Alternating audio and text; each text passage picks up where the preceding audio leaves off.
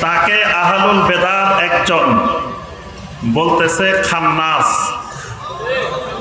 কোন আলেমের জবান থেকে একজন মহাদ্দিসের ব্যাপারে এলমে হাদিসের এত বড় উস্তাজ দীর্ঘ অনেক বছর ধরে তিনি এলমে হাদিস পড়াইতেছেন সহি আল বুখারি পড়াইতেছেন সহি মুসলিম পড়াইতেছেন। এরকম একজন মহাদ্দিসকে লক্ষ্য করে একজন আলেমের মুখ থেকে যদি এই জাতীয় শব্দ বের হইতে পারে, তো এটা এই বাংলাদেশি বাঙালি জাতির ওলামায় জন্য বড় ধরনের কলঙ্ক। এবং তিনি একজন চরম বেদাতি, তিনি একজন চরম উগ্রপন্থী, তিনি একজন চরম বেদাতি, এটা প্রমাণ করার জন্য এই বাক্যটাই এই কথাটাই যথেষ্ট। আমরা এই জাতীয় কোনো শব্দ, কোনো ওলামাই কেরাম। কারও ব্যাপারে আমরা কখনো করি নাই, করব না ইনশাআল্লাহ। আমরা বলব যে সমস্ত ওলামাই কেরাম ময়দানে বলে বেড়াচ্ছেন যে আহলে হাদিসরা ইসরায়েলের পক্ষ নিয়েছে। ইসরায়েল থেকে তারা টাকা পায়। তারা ইহুদিদের দালাল। এই জাতীয় কথা যারা বলছেন, তারা চরম অসত্য কথা বলছেন। মিথ্যা বলছেন বলি নেই কিন্তু। কারণ মিথ্যা শব্দটাও এরকম আলেমদের সামনে লাগানো, এটা সমীচীন না। এই জন্য আমরা বলব যে তারা চরম অসত্য কথা বলেছেন। কি কথা বলছেন? অসত্য কথা বলছেন। আমরা এই ব্যাপারে মজলুম। আমরা আল্লাহ রব্বুল আলমিনের দরবারে তাদের জন্য বিচারের প্রার্থী আল্লাহর দরবারে বিচার দিয়ে রাখলাম। যদি তারা অনিচ্ছাকৃত না জেনে, না বুঝে বলেন, আল্লাহ পাক যেন তাদেরকে বুঝার তৌফিক দান করেন। আর যদি ইচ্ছাকৃত জেনে, বুঝে, শুনে বলে থাকেন, তাহলে আল্লাহর সেই ঘোষণাটাই আমরা আজকের এই কনফারেন্সেও ঘোষণা করব, লানাতুল্লাহি আলাল কাযিবিন মিথ্যাবাদীদের উপরে আল্লাহ রব্বুল আলমিনের লানত বর্ষিত হোক। আজ পর্যন্ত বাংলাদেশের একজন ওলামায় কারাম, কাউকে আমরা ইসরায়েলের পক্ষে কথা বলতে দেখি নাই।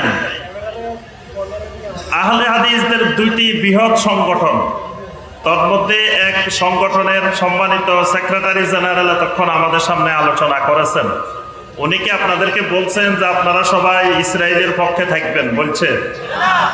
বরং বাংলাদেশ জমিয়তে আহলে হাদিস থেকে লিখিতভাবে ইসরায়েলের এই নির্মম গণহত্যার বিরুদ্ধে তীব্র প্রতিবাদ জানানো হয়েছে।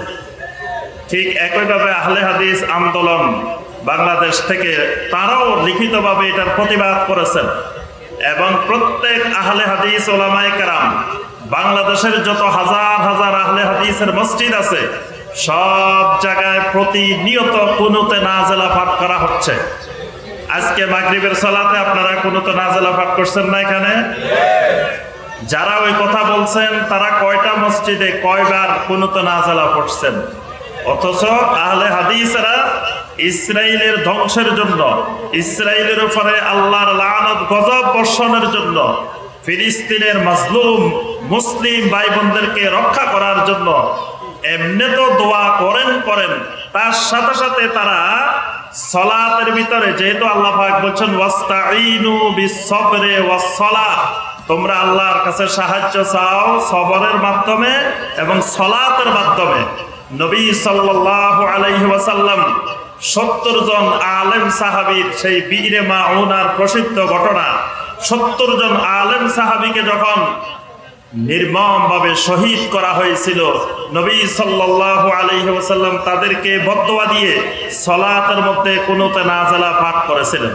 সেই সুন্নত পদ্ধতি অনুযায়ী আমরাও প্রতিনিয়ত সলাতের মধ্যে কোনোতে নাজালা পাঠ করে যাচ্ছি।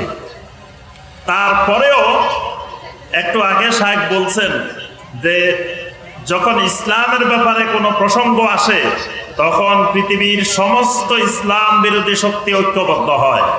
কিন্তু যখন ইসলাম বিরোধীদের ব্যাপারে আমরা যখন এক হওয়ার কথা, তখন ওই ইসরায়েলের বিরুদ্ধে বিষোদাগার বাদ দিয়ে আহলে হাদিসের বিরুদ্ধে বিষোদগার শুরু করে দিচ্ছে মনে হচ্ছে যে ইসরায়েল সমস্যা না, সমস্যাটা আহলে হাদিস। ওনারা সবাই মনে হয় দল বেঁধে জিহাদে চলে যাইতো আলে হাদিসের জন্য পারতেছে না। কি আলে হাদিসেরা ধরে রেখেছে ওনাদেরকে? কই, ওনারা একজনও তো জেহাদে যাওয়ার জন্য ডাক দেয় নাই। ডাক দিলে আমরা দেখতাম যে কে যাইতেছে, কে ডাক দিছেন, আমরাও তাদের সাথে যাইতাম বা আমরা দেখতাম। আজ পর্যন্ত একজনকেও আমরা দেখি নাই। তাহলে আহলে হাদিস তাদেরকে এই ব্যাপারে কোনো বাধা সৃষ্টি করে নাই।